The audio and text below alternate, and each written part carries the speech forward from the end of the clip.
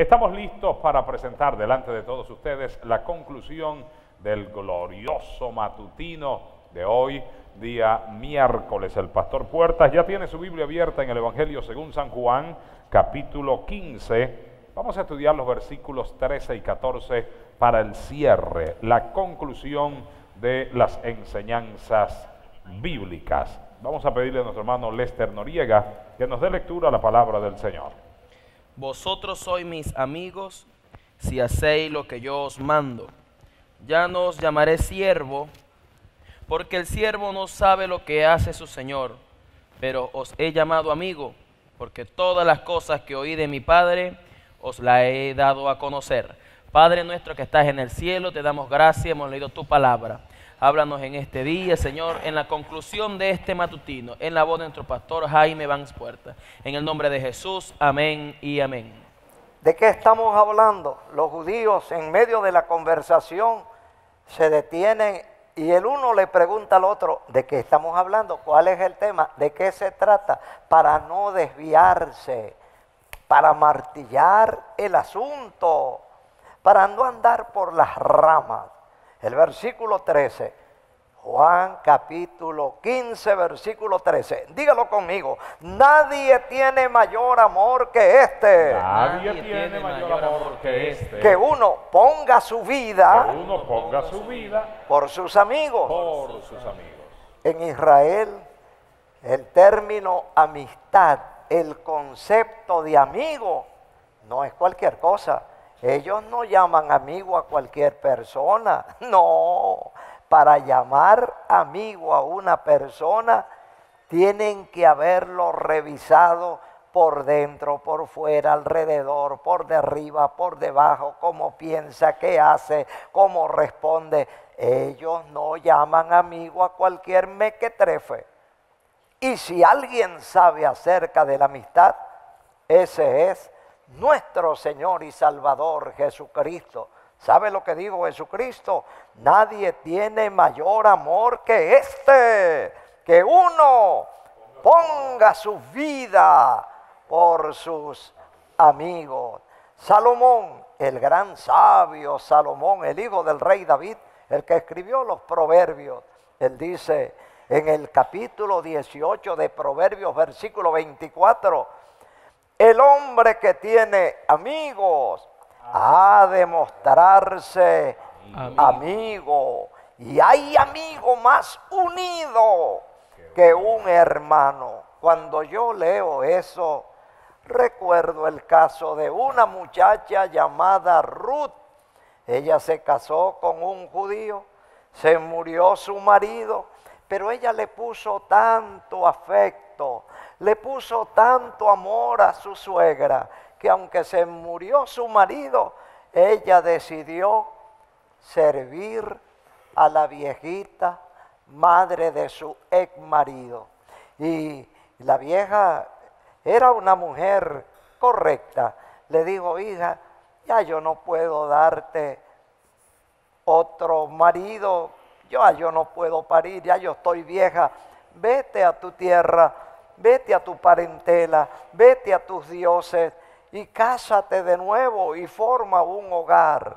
Y ella inclinó la cabeza humildemente y le dijo, diga conmigo, no me ruegues que te deje No me ruegues que te deje y que me aparte de y ti, que me aparte de ti. porque donde quiera que tú fueres, Donde quiera que tú fueres, iré yo. iré yo. Donde tú vivas, Donde tú vivas, viviré yo. viviré yo. Tu Dios Tu Dios será mi Dios. será mi Dios. Tu pueblo Tu pueblo, será mi pueblo. Será mi pueblo. Donde tú mueras, donde tú mueras, allí moriré yo. allí moriré Y yo. allí seré sepultada a tu lado. Solo la muerte hará separación entre nosotras dos. Qué amistad más grande. Y Dios premió a esa muchacha que era una extranjera. Ella era moabita de una nación enemiga de Israel.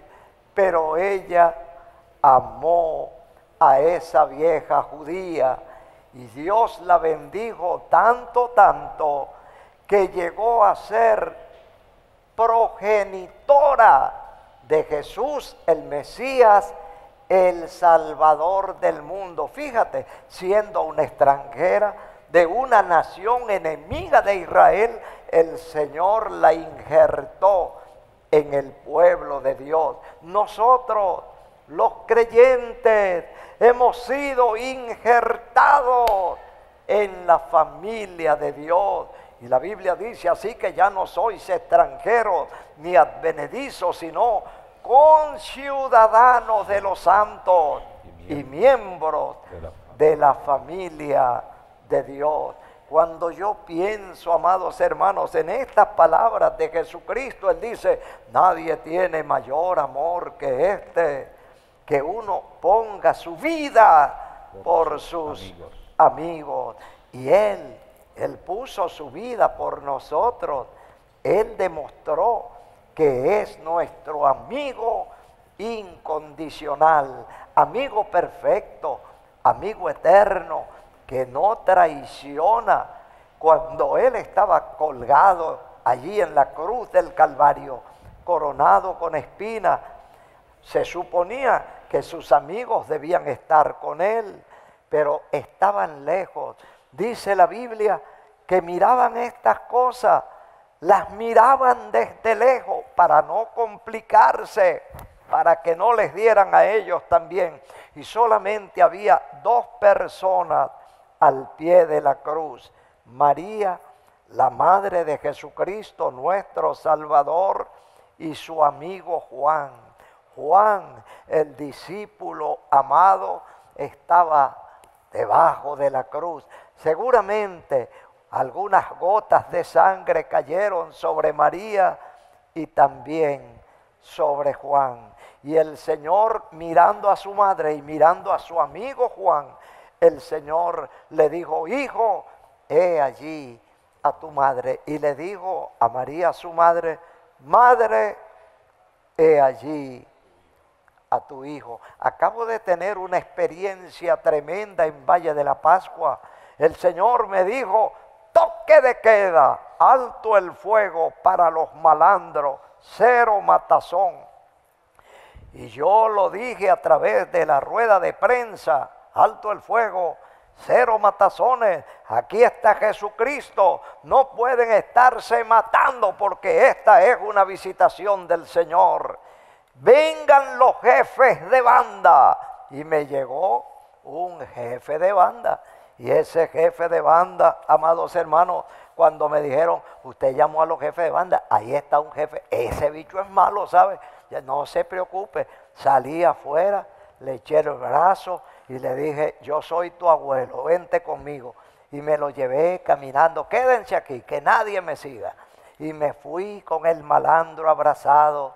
Le dije, el peor enemigo de un malandro es el otro malandro que está con él si son tres y hacen un tremendo trabajo y roban una fortuna, cuando uno se mete al baño, los otros dos se secretean.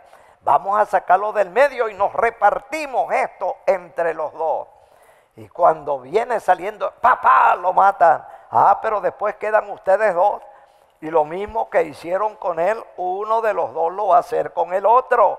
El peor enemigo de un malandro no es la policía, no es la Guardia Nacional, es el otro malandro. Y él me miró de frente, me dijo, hermano Puerta, yo soy malandro, hermano Puerta, pero es que voy a la alcaldía a buscar una ayuda y nadie me para pelota, nadie me hace caso. Y voy a buscar trabajo. Y como yo soy malandro, hermano Puerta, yo soy malandro, pero bien malandro de verdad.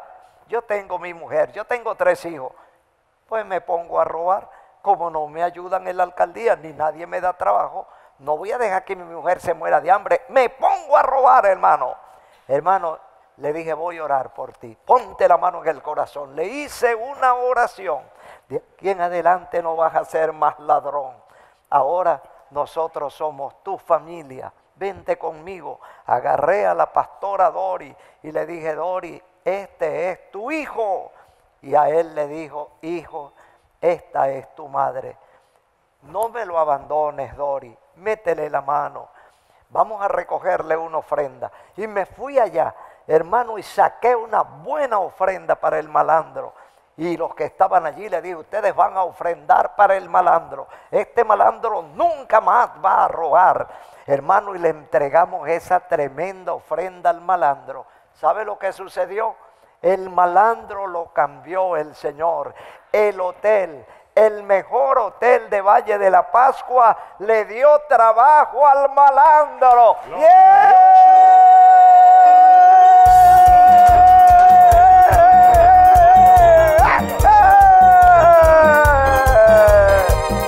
Diga conmigo, no amemos de palabra. No amemos de palabra. Ni de lengua. Ni de lengua. Sino en espíritu y en verdad. verdad. Amén. Vamos a amar de corazón, mis amados hermanos. Usted, jefe de misión, tiene una misión bonita, la cesta de amor. Acuérdese los centros de rehabilitación que hay en la ciudad. No importa que no sean evangélicos, llévele una cesta de amor a, la- a- a ese centro de rehabilitación, aunque sea de los curas porque usted no se lo está dando a los curas, se lo está dando a esa gente que se están rehabilitando. Si hay un centro evangélico, llévele también una buena cesta en el nombre del Señor. Y el último versículo es el 14. Diga conmigo, vosotros sois mis amigos Vosotros sois mis amigos. si hacéis lo que yo os mando. Si hacéis lo que yo os mando. Vosotros sois mis amigos Vosotros Vosotros sois mis amigos. si hacéis Si Si hacéis lo que yo Lo que yo os mando. ¿Qué es lo que nos manda el Señor? ¿Usted quiere ser amigo del Señor? Haga lo que el Señor nos ha mandado. Amaos los unos a los otros. Usted es marido, ame a su mujer. Usted es esposa, ame, respete a su marido. Nunca se despida de su casa largando un portazo. No salga de su casa en- eh, eh, eh, enemistado con su esposa, bravo con sus hijos. Nunca despida a su marido enemistada con él. Usted no sabe si ese marido se mata en el trabajo, en un accidente, y qué recuerdo te queda cuando lo veas metido en el cajón. Es bueno que se despidan con un fuerte abrazo, con un beso, que sus hijos los vean a ustedes que de verdad se aman, así como los pajaritos que se dan el agua en el piquito. Ámense, pero no de palabra, ámense de corazón y que Dios me los bendiga. ¿Quieres ser amigo de Jesucristo? Ama. Aún a tus enemigos, ama. Aún a los malandros, ama. Aún a las rameras, homosexuales, ámalos. Ten misericordia de ellos. Están allí porque el diablo los tiene atrapados.